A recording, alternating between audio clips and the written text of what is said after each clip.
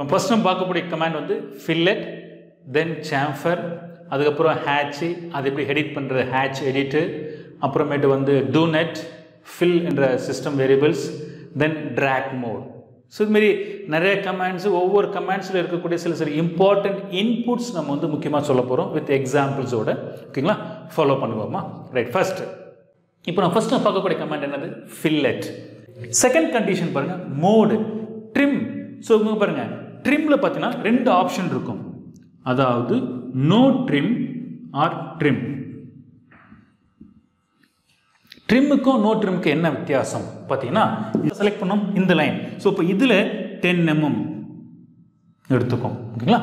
இங்க இருந்து second line select பண்ணியிருக்கிறேன் இந்த லைன் அப்போ கனெக்டிங் பாயிண்ட் தான் இல்லையா? ஸோ இப்போ இங்க இருந்து twenty degree that means sorry thirty degree thirty degree from here so இந்த டிஸ்டன்ஸ் வந்து தேர்ட்டி டிகிரி இருக்குங்க. நாட் ஃப்ரம் எக்ஸ் ஆக்சிஸ் ஓகேங்களா? எக்ஸ்லேருந்து கிடையாது. இங்கே பாருங்க. Chamfer angle from first line அப்போது இந்த லைன் வந்து தேர்ட்டி டிகிரியில் போய் இங்கே கட் ஆயிரும். அப்போ இந்த டிஸ்டன்ஸ் நீங்கள் வந்து கொடுக்கணும்னு அவசியம் கிடையாது. ஓகேங்களா? இப்படி போடுவீங்க. ஸோ இது என்ன ஆங்கிள் இருக்கணும்? எய்தர் தேர்ட்டி டிகிரியில் இருக்கணும் அல்லது ஃபார்ட்டி ஃபைவ் டிகிரியில் இருக்கணும் அல்லது சிக்ஸ்டி டிகிரியில் தான் இருக்கணும். இதுதான் வந்து ஸ்டாண்டர்ட் ஸோ எல்லா லைனுமே வந்து இன்க்ளைனாக இருக்கணும். அதேமாரி இந்த கேப் வந்து பார்த்திங்கன்னா ஈக்குவலாக இருக்கணும். இதுதான் முக்கியம் நம்மளுக்கு.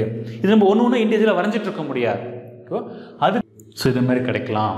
ஓகேவா ஒரு எப்படி சொல்கிறதுனா ஒரு பிளாக் கலர் அல்லது ஒயிட் கலர் பிக் டாட் வைக்கணும்னா இது வச்சுக்கலாம். அப்போது நீங்கள் ஐடி வந்து ஜீரோ கொடுத்துருங்க. ஓடி வந்து என்ன சைஸ் கொடுத்துக்கலாம். ஸோ இது வந்து அவுட்டர் டயாமீட்டர்